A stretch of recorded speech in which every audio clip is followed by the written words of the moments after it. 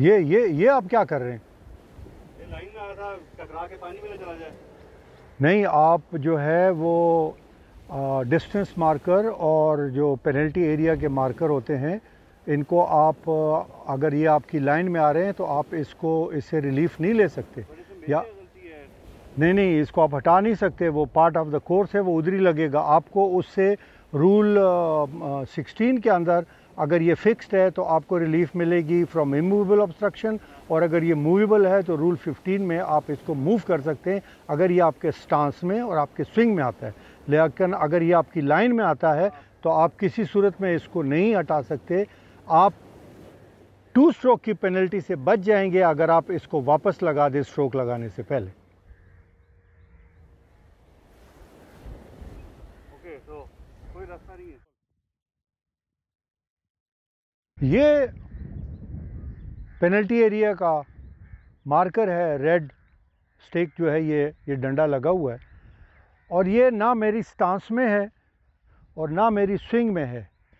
लिहाजा इसको मैं नहीं हटा सकता किसी सूरत में, क्योंकि लाइन की रिलीफ सिर्फ़ और सिर्फ़ टी यानी टेम्परेली इमूवेबल ऑब्स्ट्रक्शन से है, जिस तरह के जब कोई मैच होता है टीवी वाले आके कैमरों के स्टैंड लगाते हैं या कोई अपना इश्तिहार बड़ा बैनर लगा देता है, उसको उस वक्त वहाँ से हटाना मुमकिन नहीं होता है। इसलिए वहाँ पर आपको लाइन की रिलीफ गोल्फ़र को मिलती है।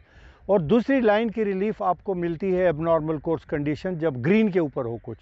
ग्रीन के ऊपर पुराना होल सिंक कर गया है, या कोई पानी आ गया है, या कोई ऐसी जानवर ने कोई खड्डा बना दिया जो आपकी लाइन में आ रहा है तो आप उस लाइन से रिलीफ ले सकते हैं और बॉल दाएँ और बाएँ उतनी फासले पे रख कर खेल सकते हैं।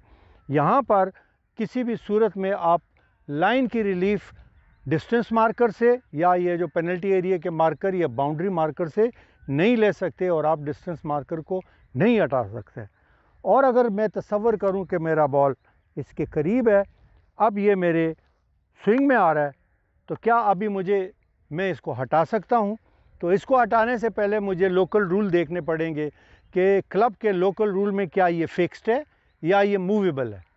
अगर ये फिक्स्ड है तो फिर रूल 16 के तहत मैं इसको क्लियर करके और फिर रिलीफ लेकर इमूवेबल ऑब्स्ट्रक्शन से जिस तरह रिलीफ लेते हैं, मैं रिलीफ लूँगा इससे।